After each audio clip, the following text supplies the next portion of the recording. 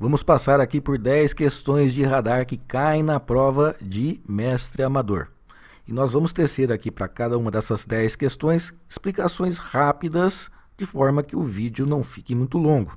E vamos lá para a primeira questão. Ao chover, o controle que devemos ajustar ao radar é e lembrou de chuva, nós temos que lembrar que o controle que atenua a mancha de chuva no radar é o FTC.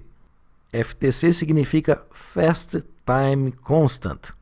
E também esse, esse controle recebe o nome de rain, chuva em inglês. O STC.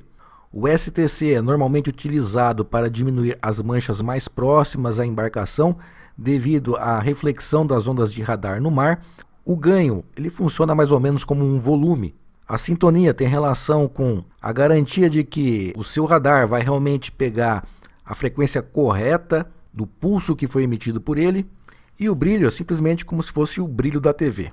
Em relação à escala utilizada no radar, o procedimento a ser tomado ao passar de mar aberto para águas interiores é diminuir a escala, porque normalmente quando você está navegando em mar aberto, você quer ter uma visão mais longe, você aumenta a escala para que o radar mostre na sua tela alvos que estejam mais longe da sua embarcação, para que você tenha bastante tempo.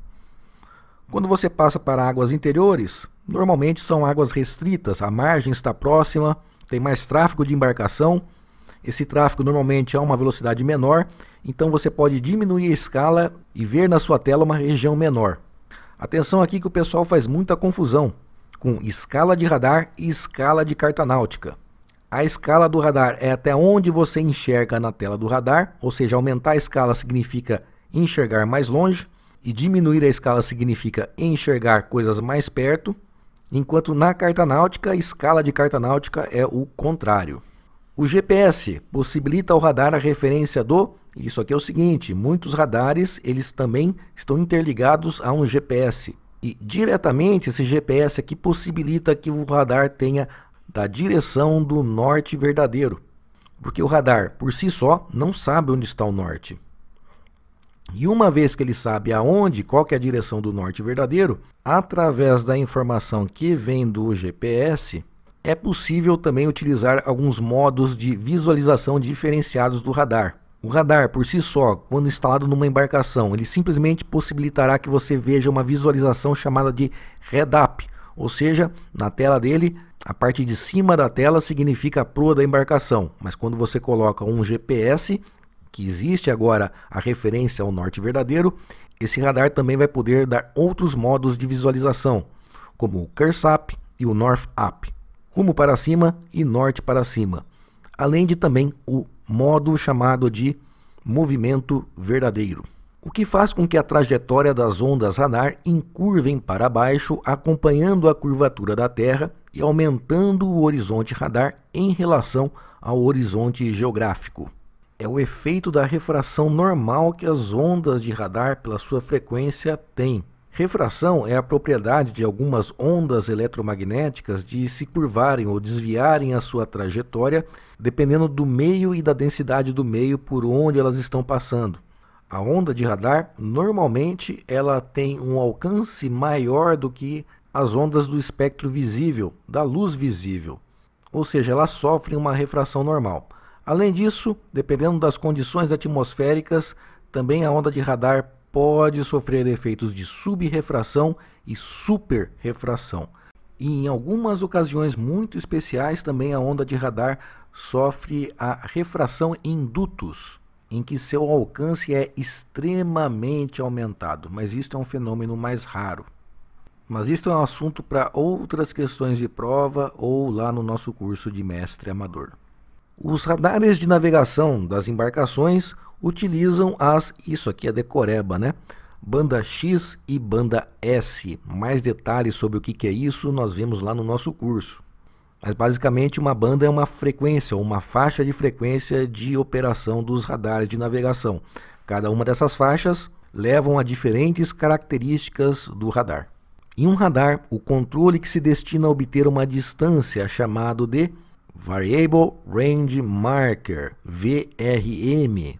O FTC, nós já explicamos o que é na primeira questão, é um controle para atenuar as manchas de chuva. O STC, para diminuir as manchas em torno da embarcação devido à reflexão das ondas de radar no mar. O EBL é um controle para você tirar uma marcação de um certo alvo. A alternativa é que ECO fala tanto do STC quanto do FTC. Como se chama o dispositivo usado no balizamento, ou seja, tem uma boia ou um local em terra ou algum local que você coloca uma, um balizamento, um sinal náutico para auxiliar na navegação. Esse sinal náutico, esse dispositivo, ele emite um sinal na tela do radar e que facilita a sua identificação. Esse equipamento é o RACON, que na tela do radar ele aparece como sendo um conjunto de traços e pontos formando um código Morse. Esse conjunto de traços e pontos é sempre na direção radial e onde ele inicia é a posição do RACON.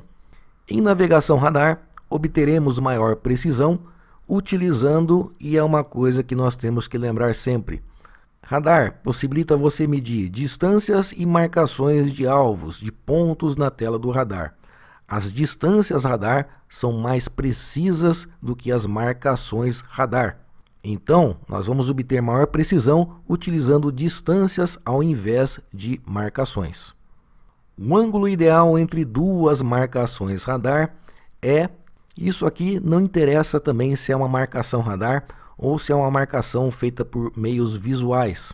Feita, por exemplo, utilizando um equipamento chamado círculo azimutal ou então um outro método similar. Isso aqui tem a ver com teoria de erro, a precisão de uma marcação, a precisão de uma medida de marcação. E o ângulo ideal entre as duas marcações é sempre de 90 graus. Idealmente não se deve utilizar marcações em que o ângulo de cruzamento é menor do que 30 graus. A precisão fica baixa. No movimento relativo do radar, o seu navio sempre permanece no centro da tela.